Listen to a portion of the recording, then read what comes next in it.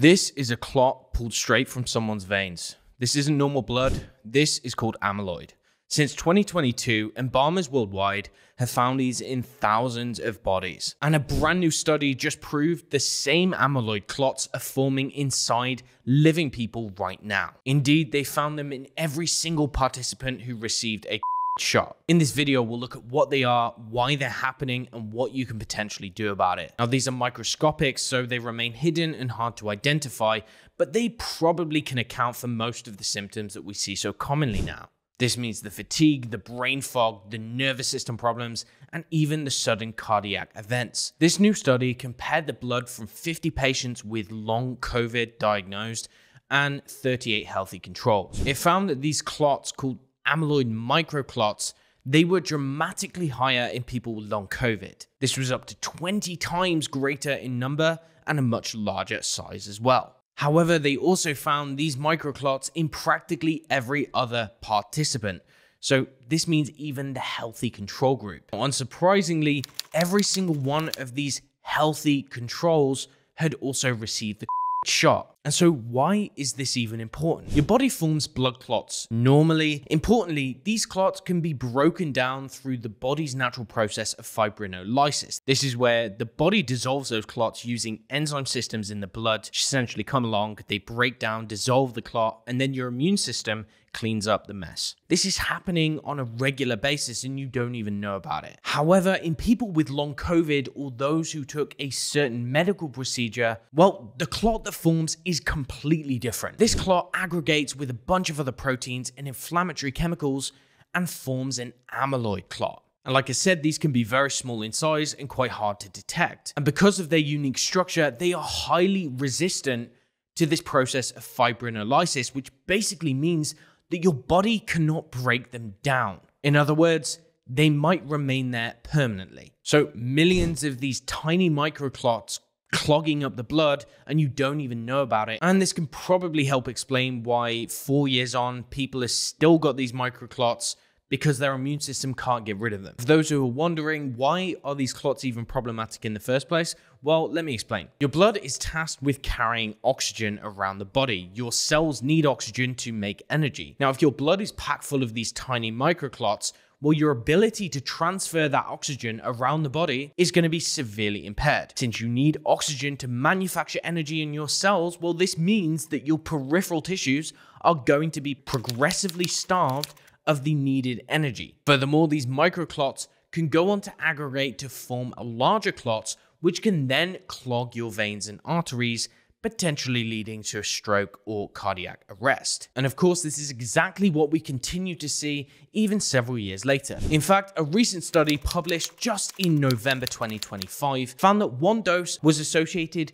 with an overall 5.2 times higher risk in blood clots, 8.7 times higher risk in women, and a whopping 17 times higher in those aged between 39 and 59 years old. Furthermore, for those who got a second dose, well, the risk of heart attacks was seven times higher in those aged between 29 and 39 years old. So we have substantially higher risk of heart attack and substantially higher risk of blood clots.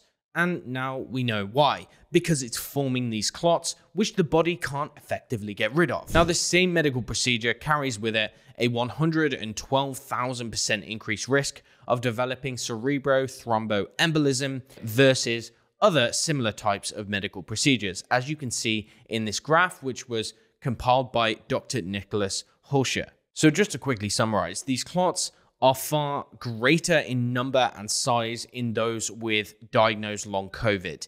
That can probably explain their symptoms because they have a systemic lack of oxygenation. But they're also occurring in supposedly healthy individuals who just so happen to also get the shot. So, if you are one of these people who has this stuff stuck in the blood, what can you actually do about it? To cut to the chase, first and foremost, we want to look at things that can dissolve, potentially break down the structure of these microclots.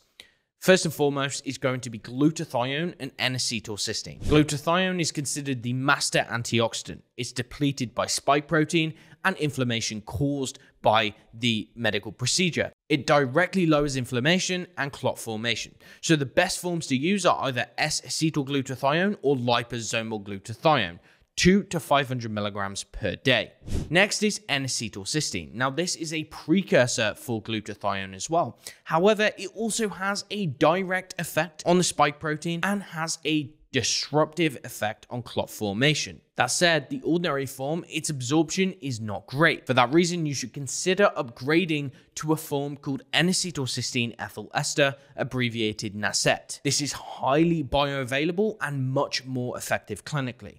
So the dose that you might use is between 100 to 200 to maybe 300 milligrams per day. Now you can use this form that I personally formulated. This is a combination of glutathione with NACET and some of the other cofactors for glutathione production, or alternatively, you can use any other brand. The brand is not important, it's the form and the dose that really counts. Next is the N word, which I'm hesitant to use on this platform. This directly displaces spike protein from acetylcholine receptors and supports the anti inflammatory action of the immune system. The general dose is between 5 and 10 milligrams using a patch per day, but some people do go up to 20 milligrams per day via a patch. Next are the systemic enzymes, which may help to directly dissolve clots themselves one is called nattokinase. You can use between 2,000 and 4,000 FU per day. Another one is bromelain, and I like to recommend between 500 and 750 milligrams per day.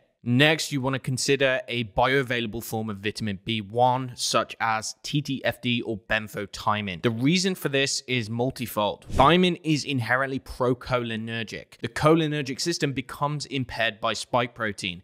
When you lose control of the system, well, you can no longer control or modulate inflammation. Furthermore, several forms of this vitamin have been shown to improve vascular endothelial function, meaning how your blood vessels open and close, which is particularly important in this context. Anecdotally, there are many in the long COVID community who report substantial benefits from using thiamine in multiple forms. So for benfotiamine, the average dose is between 300 and 900 milligrams, whereas for TTFD, it's generally lower at about 100 to 500 milligrams per day. And finally, one which you probably haven't heard me speak about before is called plasmalogens.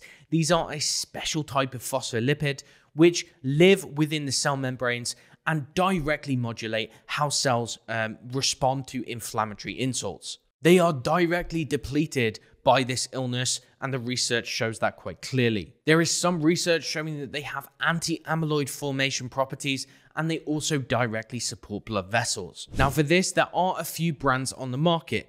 I personally like to use this one because it's both nano encapsulated and liposomal. This is to improve its bioavailability. However, I personally know the guys who made this, so I am biased. Ultimately, any brand you use will probably work. It's a marine derived form, so it's from seafood, and there's generally some good research on this form. For this, the dose of 2 milligrams per day should generally suffice. Alternatively, there are many who use precursors and they're generally only made by this one company, and I've heard some really good results, but it's generally much more expensive. And for this, I'd simply follow the dosing on the bottle.